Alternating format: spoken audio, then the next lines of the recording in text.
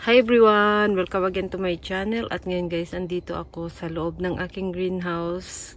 Alas 6.30 pa ng umaga. Ayan.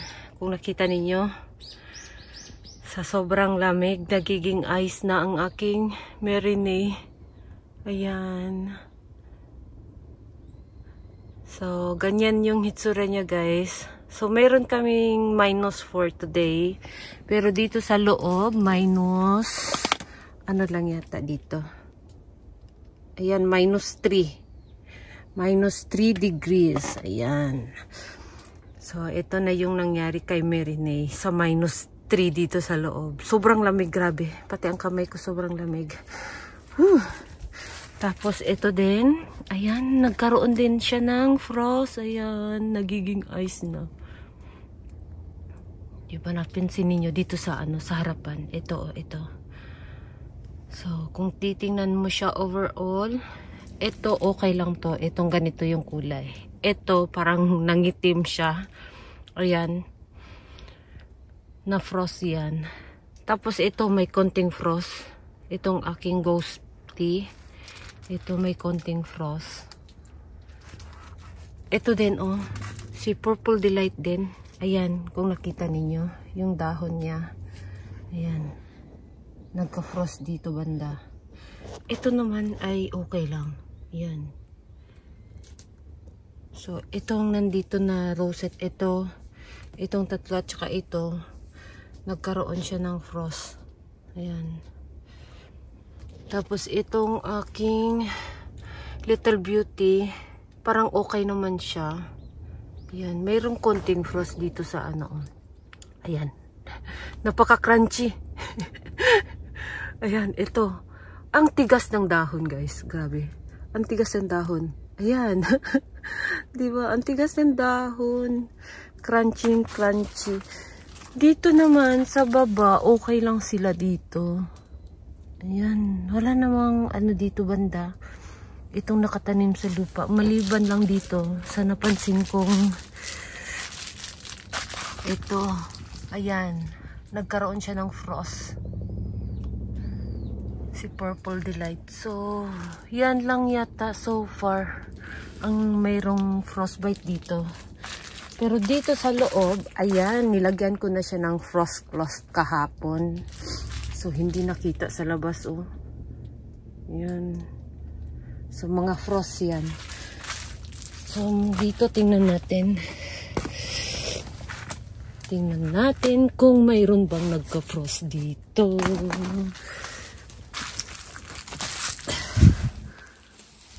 Ah, parang okay naman sila sa loob. Yan. Parang okay naman. Wala namang nagpapahiwatig na mayroong nagka-frostbite sa loob. Yan. Yung rolly ko na mother plant, ayan. Okay naman. Yung nandun na rolly. Okay din siya guys. Ayan.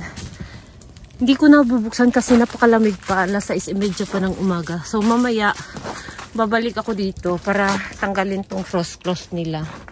Ayan. Yung kapag medyo mainit-init na, Ayan, kasi wala pang sikat ng araw, di ba?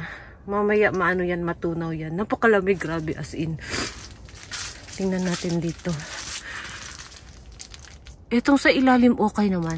Tingin ko ito, hindi to mag-bloom dahil sa sobrang lamig.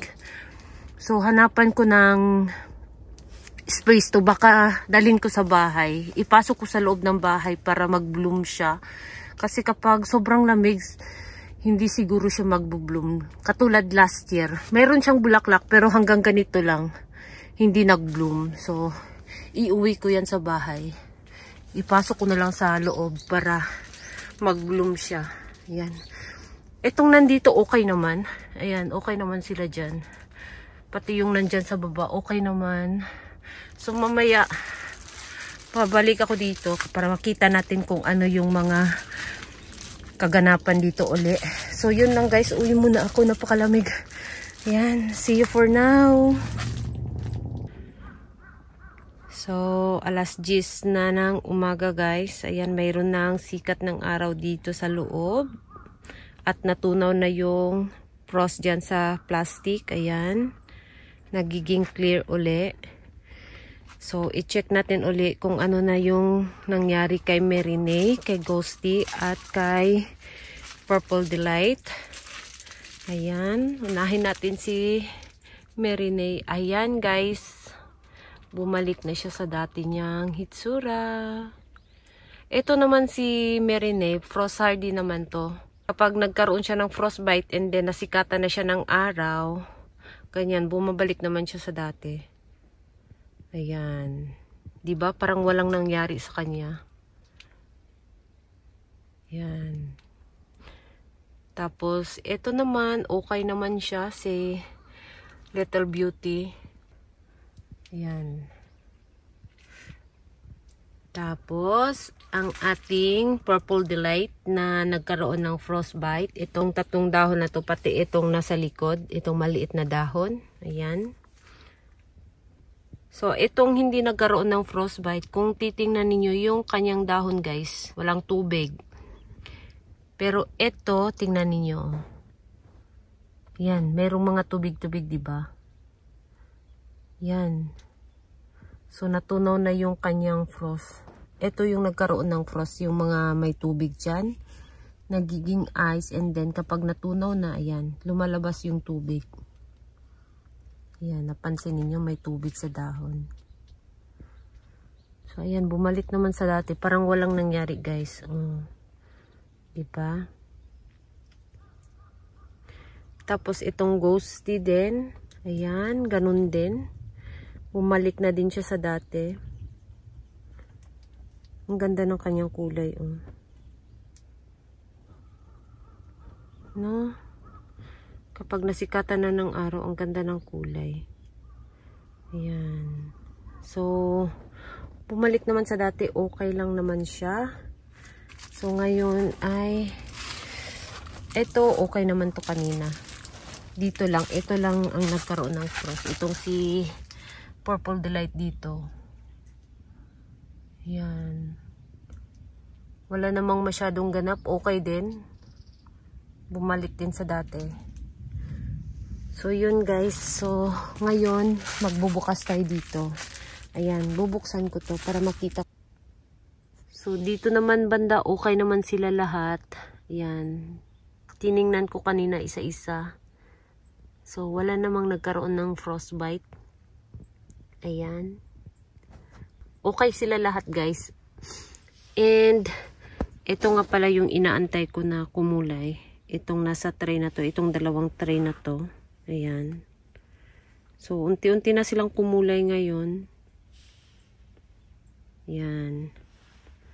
So, ito, dry na dry to guys. Hindi ko talaga sila diniligan dahil meron nga kaming parating na minus 4. And then, sunod-sunod na. Bukas din, minus 4 din uli. Tapos, minus 3, minus 2, mga ganon. So, ayan. Kapag sunod-sunod yung minus degree, hindi ko talaga sila dinidiligan kahit konti. Hinahayaan ko talaga sila na dry. Katulad nito, oh, nangulubot na yung dahon niya. Oh. Dry na dry to. Tanggalin natin. Ayan, oh. ba? Dry na dry yung kanyang soil. Ayan. So, ayan guys. Kailangan lang nilang dry sila para maiwasang magkaroon sila ng frost. Ayan.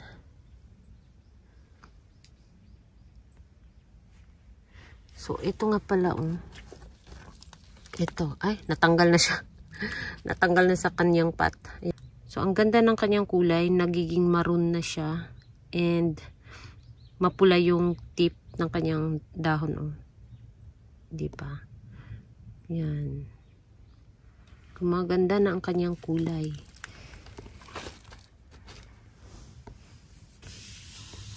Tapos ito sa dulo, ayan oh, ganda ng kanyang tip guys. Oh, ito yung ayaw kong masira, yung tip nila. Ayan, 'di ba?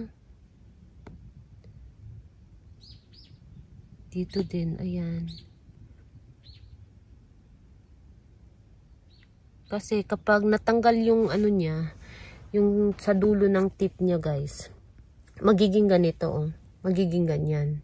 Kapag laging nasasagi yung tip niya, nagiging ganyan. Yan. So, yan, ang ganda ng kanyang tip. Yan. ba? So, iba-iba yung klase, iba-iba yung forma. Ayan. May mahaba, mayroong maikli. Ayan. Ito din, ayan. Ang ganda ng kanyang ano. Maganda ang kanilang tip sa dulo. Merong manipis, ayan. Tulad dito, manipis yung kanyang tip sa dulo. At marami siyang babies, oh. Yan, napalabas na babies. Tumabingi na siya.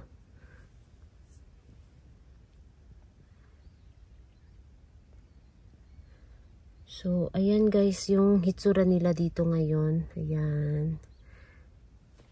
Ito, maganda ang kanyang kulay. Oh, nagpipink na siya. Ayan, nagpipink na.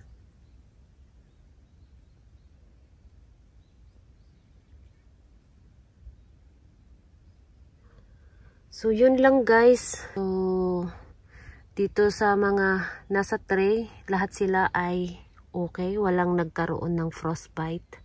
Kahit yung rolly ko na nagkaroon ng frostbite last, last pa. So, okay din siya. So, maraming salamat guys sa inyong support at sa inyong laging panonood. At huwag kalimutang mag-subscribe, mag-like at mag-share na din. Ayan. So, thank you so much for watching and see you on my next video. Bye-bye!